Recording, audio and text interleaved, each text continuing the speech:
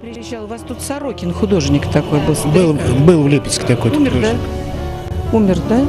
Какие были художники к нему приезжали? Я вот приехала с одной художницей из Москвы, и я так, почему особенно вот мне захотелось тогда, как они э, общаются, какая манера общения, что ели, что пили, о чем говорили. Вот это все невероятно э, положительно действовало на, на меня, во всяком случае. Лариса Ивановна, спасибо вам огромное. Спасибо, что нашли время.